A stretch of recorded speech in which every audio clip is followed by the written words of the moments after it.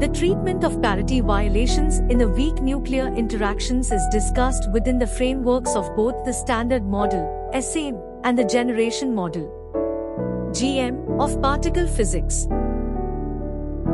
It will be demonstrated that several important differences between these two models leads to the SM merely describing the parity violations.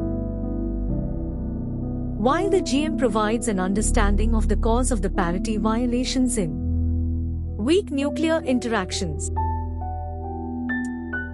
the significant differences arising from several dubious assumptions made during the development of the SM lead to very different conclusions concerning the nature of the parity violations in the two models.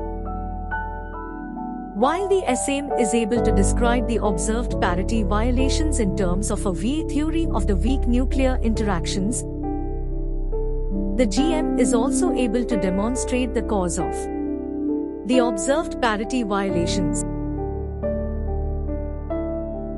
In the GM, the observed parity violations arise as a consequence of the negative intrinsic parity of both the W massive bosons